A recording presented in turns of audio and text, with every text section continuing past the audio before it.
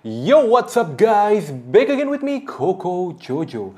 Kali ini gue pengen ngebahas sebuah device yang akan fungsional banget buat kalian yang punya lebih dari satu host komputer atau maksimal dua host komputer lah yang pengen kalian koneksiin secara langsung yang ada di desktop setup kalian. Dan langsung aja ini dia Ugreen USB Share Switcher. Oke, jadi Ugreen USB Share Switcher ini atau Share Switcher Box ini sebenarnya adalah sebuah device yang memungkinkan kalian buat mengkoneksikan peripheral kalian ke lebih dari dua devices. Jadi misalkan kalian punya lebih dari satu atau dua devices, atau maksimal dua devices dan kalian pengen koneksiin ke dua komputer, tapi kalian nggak pakai device peripheral kayak misalkan Logitech K380 atau K480 yang emang support multi devices, Device ini bisa jadi merupakan salah satu solusi yang bisa kalian pakai dengan harga yang menurut gue juga cukup terjangkau. Untuk varian warnanya dia juga cuma ada satu varian warna, warna hitam, dan untuk harganya sendiri dia dibanderol dengan harga sekitar 160.000 sampai dengan 180 ribuan rupiah. Oke, dan seperti biasa sebelum gue mulai video kali ini, jangan lupa juga untuk dukung Koko Jojo. Caranya gimana dengan klik tombol like dan juga klik tombol subscribe ya. Dan kalau video ini bermanfaat, bisa langsung kalian share juga ke teman-teman kalian. Dan langsung aja ini dia, Ugreen USB Share Switcher. Oke, jadi Ugreen USB Share Switcher ini merupakan sebuah device yang secara desainnya juga cukup simple dan nggak terlalu banyak pernak-pernik. Cuman rasanya dari tim R&D-nya nggak terlalu mem menginvestasikan duit lebih banyak buat desain dari produk ini karena menurut gue secara desain ini nggak ada estetik estetiknya sama sekali. Device ini bisa dibilang lebih ke arah fungsionalnya aja.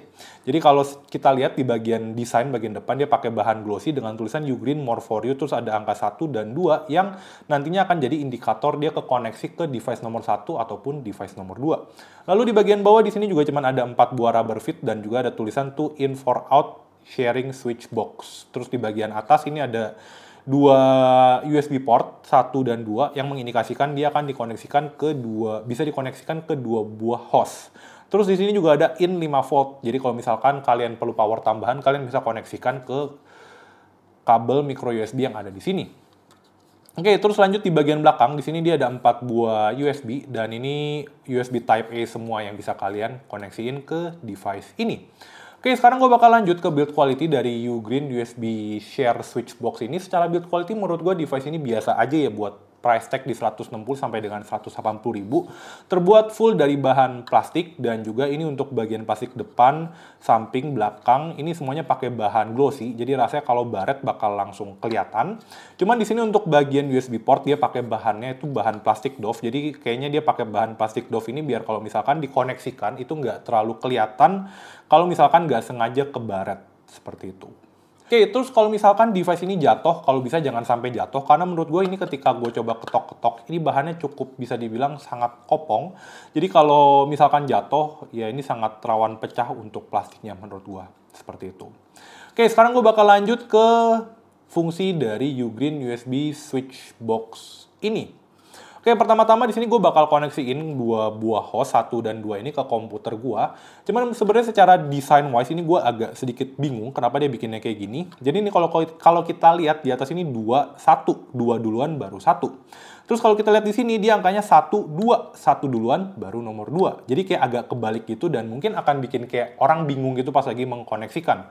Kayaknya gue udah koneksiin ke nomor satu, tapi ternyata dia mengkoneksikan ke USB port nomor dua. Seperti itu. Sekarang kita bakal coba langsung koneksiin ke device-device gua ini. Jadi gue udah nyiapin satu laptop, sorry, dua laptop dan bu juga satu ponsel buat kita coba koneksikan. Oke, di sini gue udah ada bu dua buah kabel USB Type A yang sebenarnya juga dapat dari pembeliannya. Dan ini kabel USB Type A-nya juga menurut gue lumayan tebel ya. Jadi ya ini kayaknya cukup oke okay juga untuk kualitas kabelnya. Di sini gue bakal coba koneksikan. Untuk yang nomor satu, gue bakal koneksin ke komputer di sebelah kiri gue ini, dan untuk yang nomor dua, gue koneksin ke komputer sebelah kanan gue.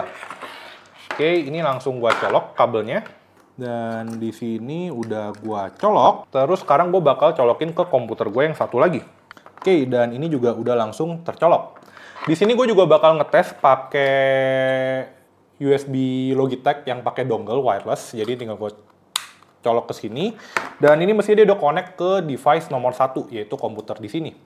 Terus cari kita tahu indikator dia koneksi ke komputer yang mana itu gampang, tinggal kita lihat aja di sini dia nomor satu atau nomor dua. Kalau nomor satu berarti dia dikoneksikan ke host nomor satu dan kalau nomor dua berarti dia dikoneksikan ke host yang nomor dua ini. Ini kebetulan suaranya agak kecil, coba kita gedein. Ini gue pindahin ke nomor satu dan ternyata di sini juga nggak ada suara. Oke, nah itu ada suara dia ke disconnect di komputer ini dan terconnect di komputer ini. Dan ini kalau misalkan mouse-nya gue gerakin, dia langsung bakal kebaca di komputer gue yang ada di sini. Terus misalkan ini gue pindah ke nomor 2, di sini dia bakal disconnect, dan di sini mouse gue bakal langsung ke detect di sini. Jadi secara fungsional ini cukup fungsional banget kalau emang ternyata kalian punya peripheral-peripheral yang dia cuma support satu devices gitu kan akan agak ribet kalau kalian mesti nyabutin wireless dongle-nya tiap kali kalian mau pindah device atau kalian nyabutin kabel tiap kali kalian mau pindah device. Terus sekarang mungkin ada yang bertanya-tanya, kira-kira bisa nggak sih kalau dikoneksiin ke ponsel Android yang emang sebenarnya kan support kayak pakai mouse gitu atau pakai USB yang lain. Ini bakal langsung gue cobain. Di sini gue pakai converter. Ini langsung gue cabut aja dari komputer satu dan gue colokin ke sini. Terus gue koneksiin ke ponsel gue ini. Oke, dan ini udah dikoneksiin.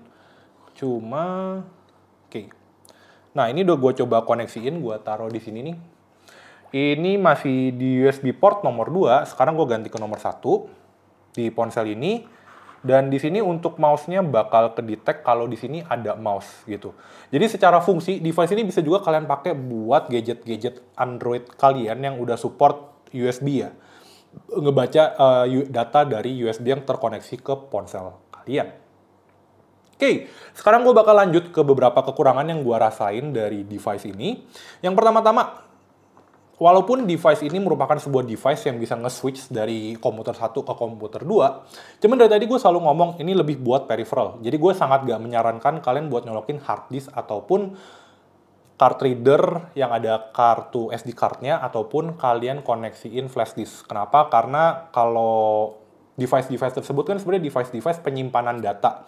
Dan ketika misalkan tiba-tiba listriknya keputus, itu dia akan sangat rawan untuk si hard disk ataupun yang SD card atau media penyimpanan lainnya itu untuk korup datanya.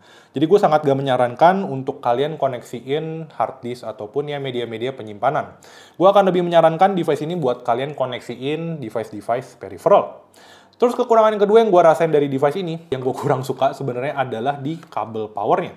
Di sini untuk kabel power sebenarnya gue lebih prefer buat dia dikasih USB Type C. Kenapa? Karena emang sekarang kayaknya udah banyak yang pakai USB Type C dan micro USB itu menurut gue udah mulai menjadi kelangkaan lah gitu dan rasanya udah kurang future proof. Jadi rasanya kalau dia pakai USB Type C itu akan lebih worth it lagi seperti itu. Oke, okay, in conclusion, pendapat gue mengenai device ini, sebenarnya device ini buat siapa? Ini buat kalian yang mungkin pakai lebih dari satu devices atau dua devices di desktop setup kalian, terus kebanyakan dari peripheral kalian itu nggak support multi devices, jadi ya mungkin bisa jadi kalian pakai keyboard mekanik gitu yang kabel yang cuma support satu koneksi lewat kabel, atau misalnya kalian pakai mouse kabel, Device ini akan sangat ngebantu kalian buat kalian pindahin dari satu device ke device lainnya.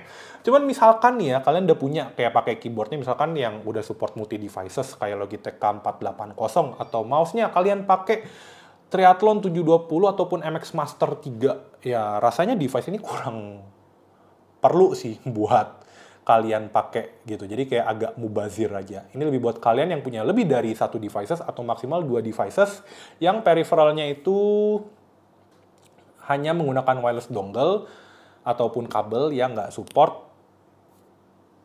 koneksi ke lebih dari satu devices seperti itu. Oke, gimana pendapat kalian mengenai Ugreen USB Share Switcher ini? Langsung aja kalian tulis di kolom komentar di bawah. Dan jangan lupa juga untuk dukung Koko Jojo. Cara gimana dengan klik tombol like dan juga klik tombol subscribe-nya. Dan kalau video ini membantu, jangan lupa juga share ke teman-teman kalian. Dan last but not least, see you on the next video. Bye-bye.